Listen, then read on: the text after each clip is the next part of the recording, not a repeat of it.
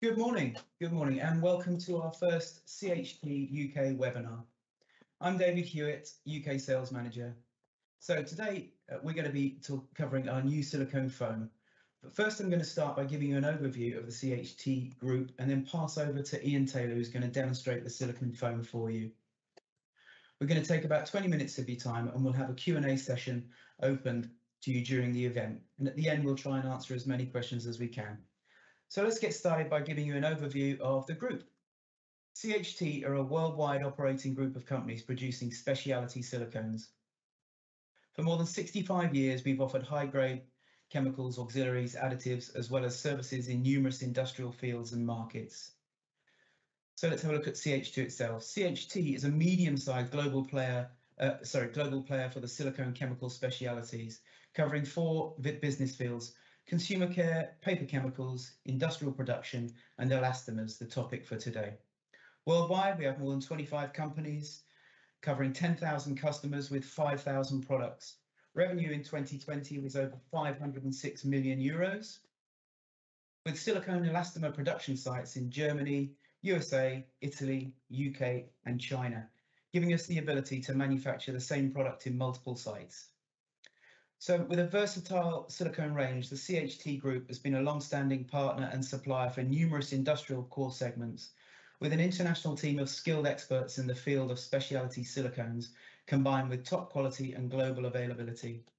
We strive to be the first choice when it comes to silicone expertise, service and product range, supporting both large enterprises and small niche producers with the same, same level of commitment and diligence. Okay, so let's have a look at a few of the markets that we supply into.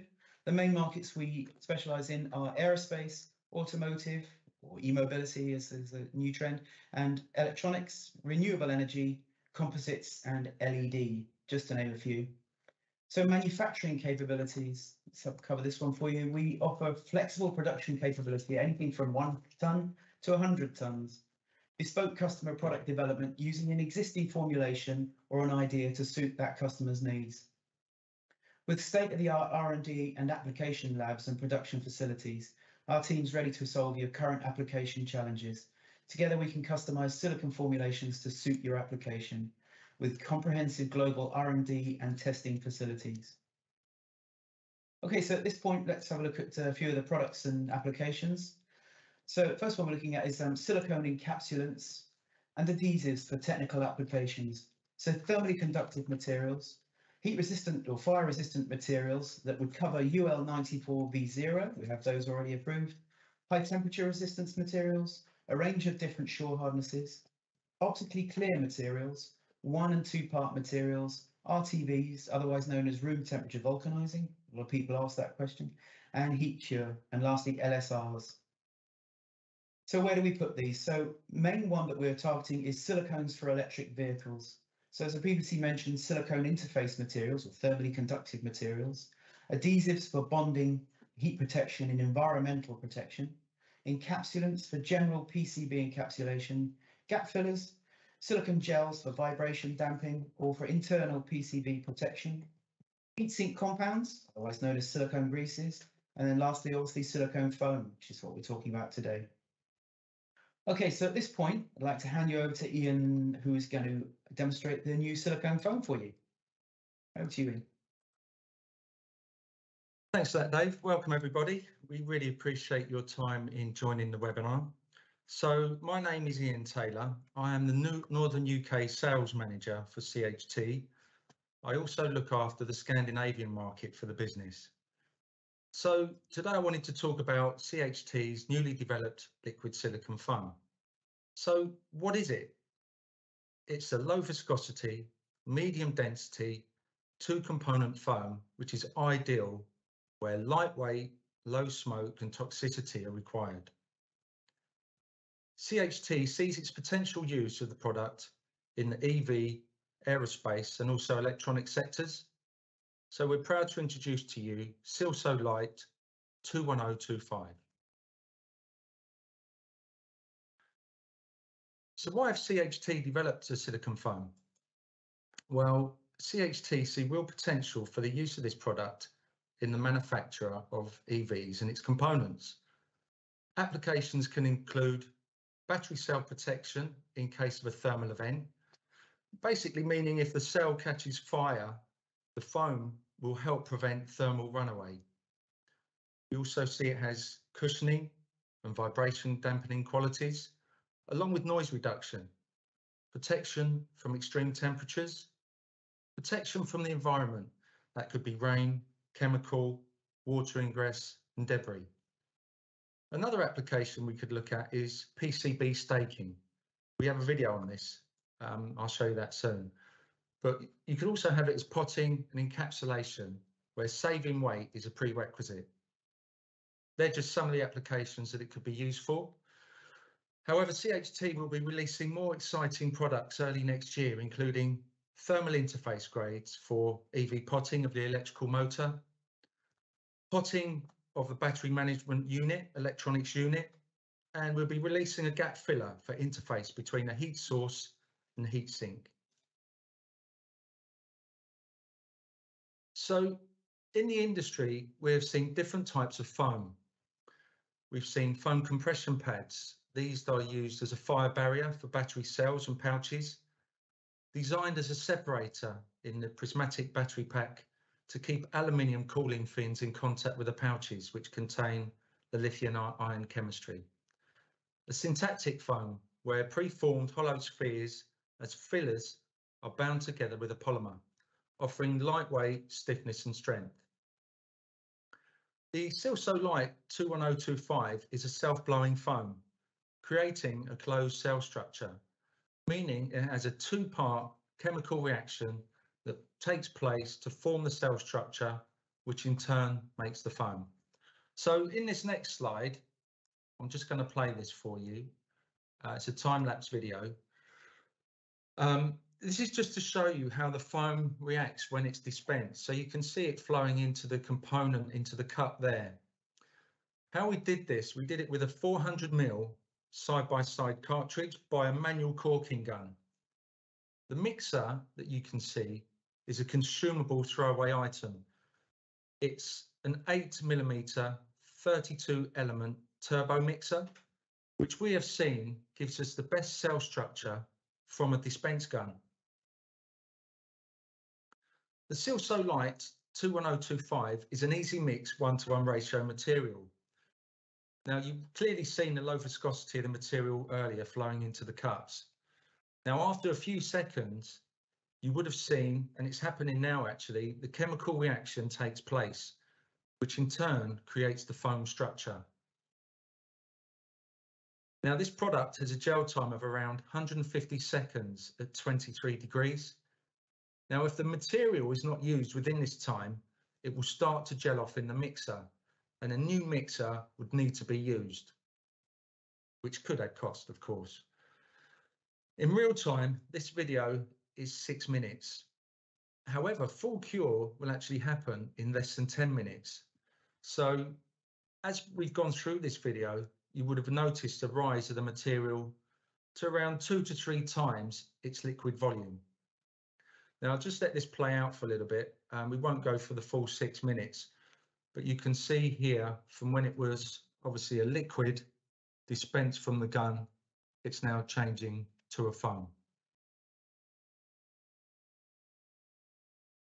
And after about 10 minutes, you'll you'll be able to, it's it's cured and ready to go at room temperature, ambient temperature. Now, in this second video, we've tried to show you what this could look like in a real world application. Now, we have set up a mock battery cell pack just to give you an idea of this. The material is being dispensed from metering equipment via material pails or machine mounted hoppers, which in turn will feed the pumps, which feed the robot mounted mixer head. This robot would have been programmed for dispense speed and volume. So what that means is you would get repeatability time and time again. Now, as a manufacturing process, it would be beneficial to have all your components ready to pot this is because, as mentioned before, the gel time is short and you don't want to be continually purging the material to waste and clearing the mixer, which could add additional cost to the process.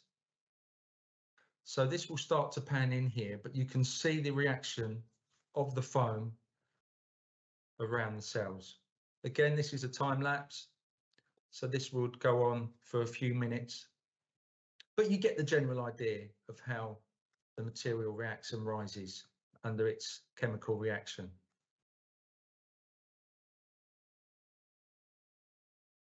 In this last video, again, it's a real world application that we've tried to mimic. It's a mock-up of a PCB board. And this is where you'll be able to see material being dispensed for staking components onto the board. Now, the benefits of this is obviously weight saving and a quick gel time, helping to increase production throughput. Again, time-lapse video, but this just shows you the, the staking process, which we're doing here. So CHT liquid silicon foam, I just want to go through the key features of this product. It's easy to dispense. It's a one-to-one -one ratio, and that can be done via a cartridge or via dispensing equipment. The material can be available in pails. It's low viscosity. The A side, around about 25,000 millipascals, and the B side, 12,000 millipascals. Gel time, we said about 153, 150 seconds, something like this. And it has a fast cure of around 10 minutes at room temperature, 22, 23 degrees, something like this. The temperature range is very good as it's silicon, minus 50 degrees C to 200 degrees C. And this product creates a medium density foam of around 0.40 grams centimeter cubed. We see a density drop in SG from 1.2 to 0.55 SG. And you would have seen in the videos, we've seen a volumetric expansion of 218% of the original liquid volume. It has really good adhesion. We've trialed this myself and Dave to most substrates, certainly a lot of metals. If it does struggle to adhere, then you could use one of our primers if required. Now, we are confident as a business that this product will meet UL 94 V1 as a minimum.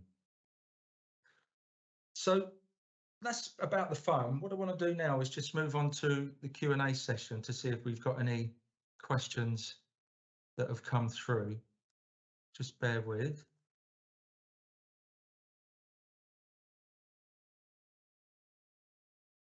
Okay. So I think you've got a question there, Dave? Yeah, we've got one question asking how much does it expand by? As Ian's just mentioned, so we're looking at 218% as the expansion rate. Um, that's coming from Anonymous. And we've also got another question, kit sizes.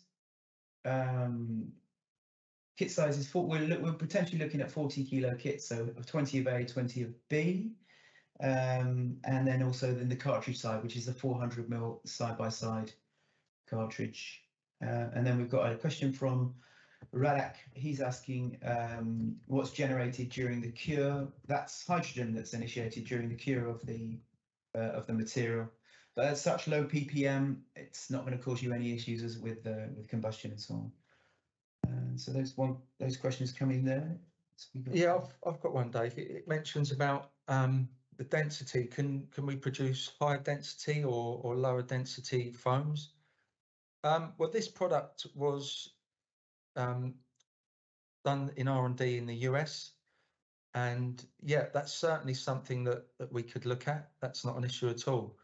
Um, it would mean obviously a tweak in the chemistry, but you know, with the, the, requirements that are out there at the moment, certainly in the battery industry for lightweight foams, you know, we're we're open to to any any options really where people want to sort of if their requirement is that, then then we can help for sure. Yeah, and it's worth mentioning at this point the the adhesion is very very good to certainly most metals, all the metals, um, and to some plastics. Obviously, we'd use a primer if the adhesion isn't quite to, to where you need it, so all the options are there. Uh, I've got a question here, Dave. Um, what is the class- classification of Part A and B in the MSDS? I think that would probably have to, we can come back to you on that. Um, we don't need to get the M- MSDS from the guys in the, the US. Yeah, sure. Don't think there's any reach issues because we've had it through to the UK, haven't we? So, but we, we can certainly get back to that. and We'll make a note on that. Mm. What we do is at the end of this session, we'll put up um, our contact details, email address, so you can just fire that that information to us, and we can we can respond to you privately. We've got a few coming in now. Can be used as sealant or just as for potting. Sealant less so, I think. Really, we've obviously got sealants for that application, but it's it's uh, really it's for lightweight potting is where we're targeting at. But always w- worth trying different ideas. Yeah. Okay, so right at that point, I think we'll we'll probably stop there because there's a few questions coming in. So I think at this point, we will probably ask you to get in contact with us now. At this point, if you can, um, uh, we'll put up on the screen now our contact details, um, and we'll show you how you how you can get hold of uh, um, of ourselves within the group. Yeah, I'll just bring that up. just switch that over for you. Okay, so there you see um, the CHT website, obviously, we're through LinkedIn and what have you. And also published just prior to this event is the um, e-paper, which is worthwhile looking at. It's quite a clever little tool where it'll uh, expand on what we've been telling you about this morning uh, on the uh, electronic grades. Um, so there we are. And I think in the next page, if we put that up, we should show you all of our contact details. Yeah. Did you mention about in the published area, Dave? Um, did you mention that? Sorry. No, no, We've got the CHT Silicones website. So I've put that as a uh, on the published section. Um, and also, Dave mentioned the e-paper that we've got for the, the electronic e-paper, which is really worth a good look. Um, it does show you some of the thermal grades that we offer, uh, some of the adhesives. Um, but like I mentioned earlier in the slide, we you know, we don't sit on our laurels at CHT. What we're looking to do is we've got a fantastic technical department and R&D team.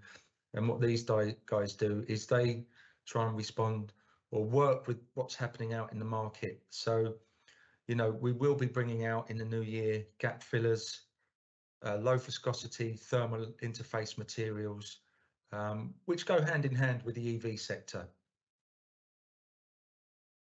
So just onto the last page. Here are our contact details. So we have David, who mentioned he's the UK sales manager. We'll leave this up for a couple of minutes. So we have David's email and we also have David's contact number. You have myself, the, the areas that I cover, my email address and contact details. So please feel free to, to send any information over if you have any inquiries on, on this, this webinar. Um, we've also got a contact at our head office in Bridgwater, Valerie Moss. She is um, Technical Services Coordinator. Valerie will have information and access to MSDS sheets and such like for this, but there is an email address for, for Val, which is info.uk at cht.com. So we'll leave this up for a couple of minutes, but I think what we'll do is um, really like to appreciate your time in spending the effort to to come to the webinar um, and pose your questions. And please, anything that we can help with, get in touch. And um, yeah, we, we'll try to move forward in 2022. Thanks everyone for Right. attending and wish you all a happy Christmas. And Yeah. maybe catch up with you soon. Okay, Thanks. thank bye. you. Bye.